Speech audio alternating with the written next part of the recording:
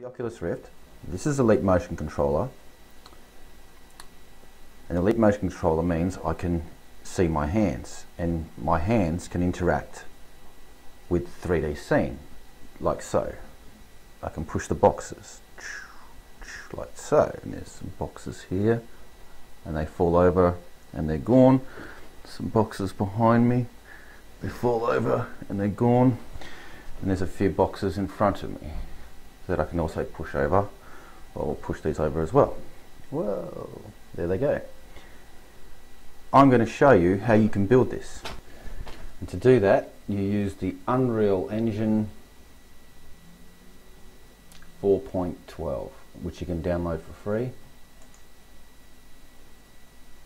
from the Unreal Engine editor. There's a tutorial on how to do this which you can access through the Unreal site but it's quite complicated to follow. I'm just going to show you how you do this step by step. First off create a blank project, blueprint, create project. Uh, there is a, a, default scene there. I'm just going to remove quite a few of these objects because I don't really need them. That one, that and that. I need the light. I need, that's the controller or the player. Okay, next step, edit, plugins, input devices, Leap Motion plugin enabled and restart now.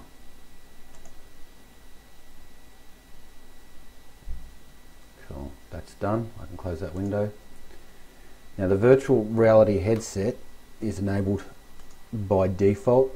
So there's a VR preview option there, which we can use later. Don't have to worry about that. But to get the Leap Motion to work, it's a bit more tricky. Do that, press Add New, Blueprint Class, Game Mode. There we go, down there. Now double click that. Down here in classes, you've got to select, for this example, leap floating hands character. There are several other examples you can use which are, do different things.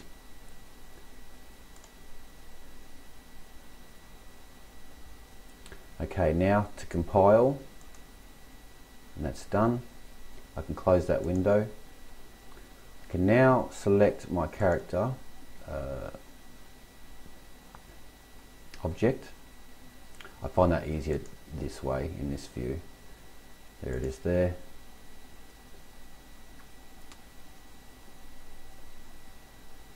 Down here in the world settings view, if you don't have the world settings view,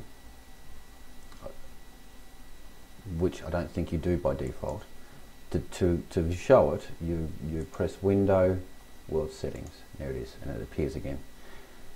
In here, select Game Mode as being a new blueprint, which we created a few seconds ago. That is now enough to preview that in virtual reality with the Leap Motion controller. Let's have a look.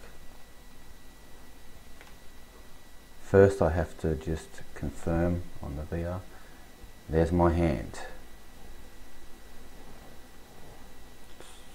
I can move around and look and there's nothing to touch yet. But you can see my fingers, my hands. I can move them individually. Very good.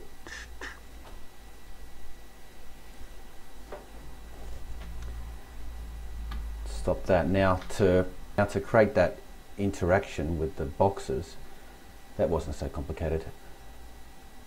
I'll just zoom out a little bit here and look at the scene in that view, top-down view. Just grab a cube, paste it in and move it very close to, move it very close to my little character here. Now find it best when it's right next to it. Not just not touching, but just about. Now for the cube, I'll select its details and just choose to have its physics on. That means it's now a box that will that will drop in space, drop down to the ground. I can press Control C and Control V to copy and paste a few. Now I'm just replace place another one on top of it. I'm going to replace place another one on top of that one, and another one on top of that one, and another one on top of that one, and another one on top of that one, and that is very basic demonstration which I'll, which I'll preview for you now. And that's there the boxes I just placed and here's my hand. Here's another hand. And I'm just going to push it. Push it over. Mm. there we go.